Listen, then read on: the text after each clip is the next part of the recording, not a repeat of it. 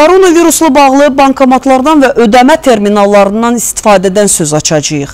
İnfeksiya hava damcı və təmas yolu ilə yayıldığından sözü gedən qurğulardan istifadə zamanı həm sıxlığa, həm də gigiyenik normalara diqqət etmək lazımdır.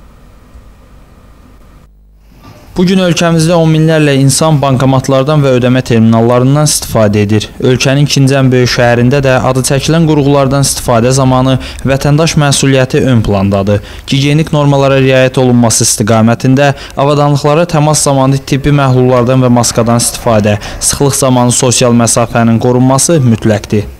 Sıxlıq olan bankomatlara yaxın getmirəm ümumiyyətcə. Gedəndə də maskadan istifadə edirəm, sosial məsafəni qoruyuram pandemiya qaydalarına uyğun olaraq.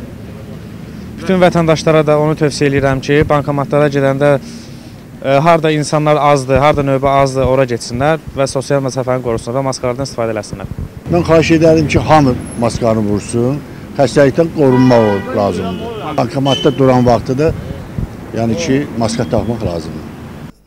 Daxili İşlər Nazirliyinin əməkdaşları da xüsusi karantin rejimi qaydalarına nəzarət tədbirlərini məqsədyönlü şəkildə davam etdirir.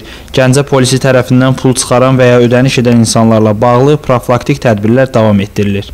Gəncə şəhər baş polis idarəsi və onun tabeli qurumlarının əməkdaşları da karantin rejiminin tələblərinə riayət edilməsi istiqamətində nəzarət profilaktiki tədbirlər həyata keçirir.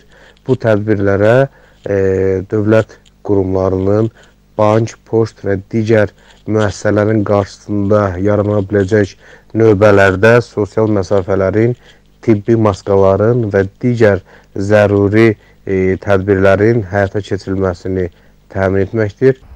Hər bir azərbaycanlı öz vətəndaş mövqeyindən çıxış etməli, ölkə başçısının koronavirus pandemiyası üçün mübarizə tədbirlərinə vətəndaş həmrəyliyini nümayiş etdirməli, bəşəriyyəti təhdid edən belə bir təhlükəli xəstəliyin aradan qaldırılması üçün görülən işlərə biganə qalmamalıdır. Vali Hanaroğlu, Ceyhun Elbrusoğlu, Gəncə.